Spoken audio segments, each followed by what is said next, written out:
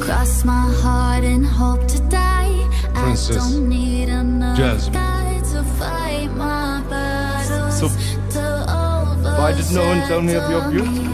Don't No one mentioned yours I'm either. I wish nothing but glory for the kingdom of Agrabah.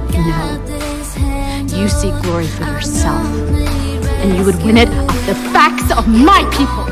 I was born to do more than marry some useless prince. Once you accept these traditions and understand it's better for you to be seen and not heard. Stop, thief! Your sultan commands it. Will you stand silent while Jafar destroys our beloved kingdom, or will you do what is right?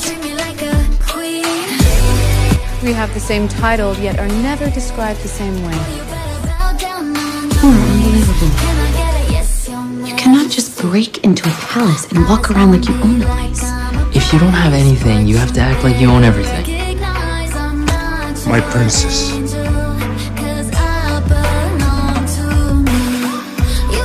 have shown me courage and strength. You are the future of Agrabah.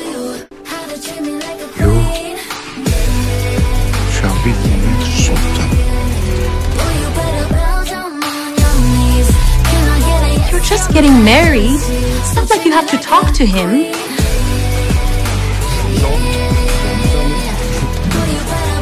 Trust me.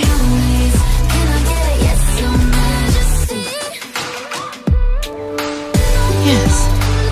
Our greatest challenge isn't speaking up against our enemies, but defying those whose approval we seek the most. Sultan.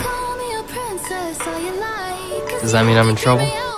Are you suggesting I'm for sale? Of course. Have you lost your country? You